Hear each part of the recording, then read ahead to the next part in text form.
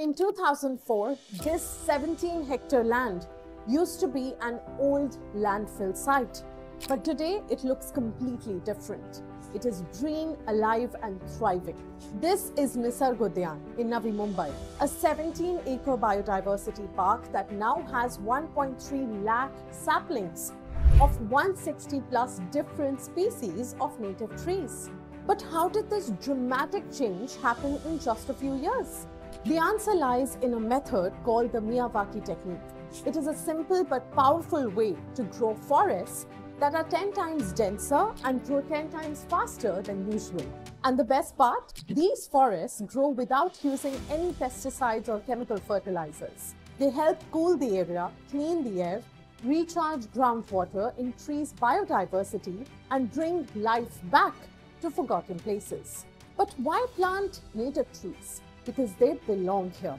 They need less water, grow faster, support local habitat, and naturally restore damaged lands. Behind these green changes is Green Yatra, an organization quietly bringing the planet back to life.